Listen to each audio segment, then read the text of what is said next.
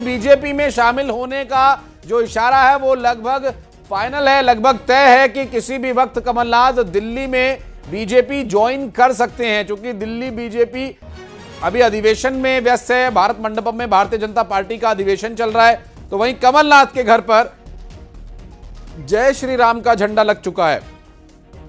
उनके जो उनके समर्थक हैं या उनके सहयोगी कहें सज्जन वर्मा ने अपने माइक्रो ब्लॉगिंग साइट एक्स के प्रोफ़ाइल पर पोस्ट किया है। तुझमें राम मुझमें राम, सब में राम, जय श्री राम।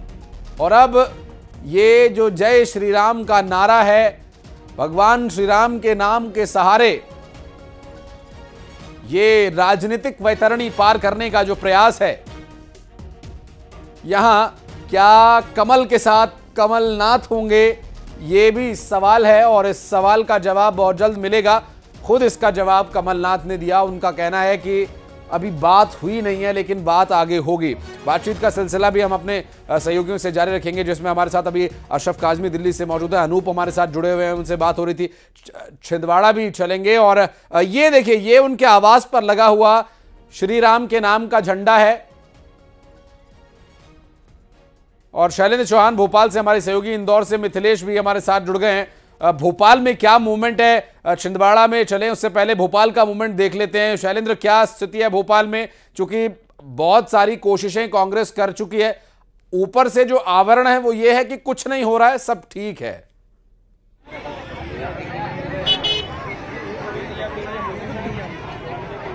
लगता है शैलेंद्र तक आवाज़ पहुँच नहीं पा रही है। एक बार फिर से प्रयास करेंगे शैलेंद्र से बात करने का। शैलेंद्र, अगर आपको आवाज़ मिल पा रही है, बताइएगा क्या मूवमेंट इस वक्त भोपाल में है? लगता है संपर्क अभी हो नहीं पाया है। और छिंदवाड़ा में राजेश, हमारे सहयोगी लगातार मौजूद हैं। राजेश, छिंदवाड़ा वो गढ़ है जिसे बीजेपी किसी भी हालत में जीतना ही चाहती है।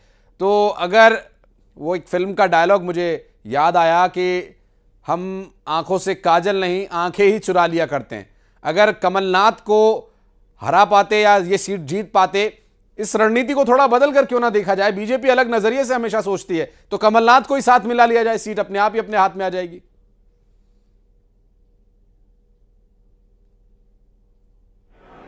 का रहा है कि कहीं ना कहीं इस सीट को हासिल की कर, कर लिया जाए। क्योंकि 28 सीटें जो लोकसभा की है मध्य प्रदेश में वो बीजेपी के हाथ में थी। एकमात्र सीट थी जो सांसद नकुलनाथ जो है मध्य प्रदेश के छिंदवाड़ा से जीते थे।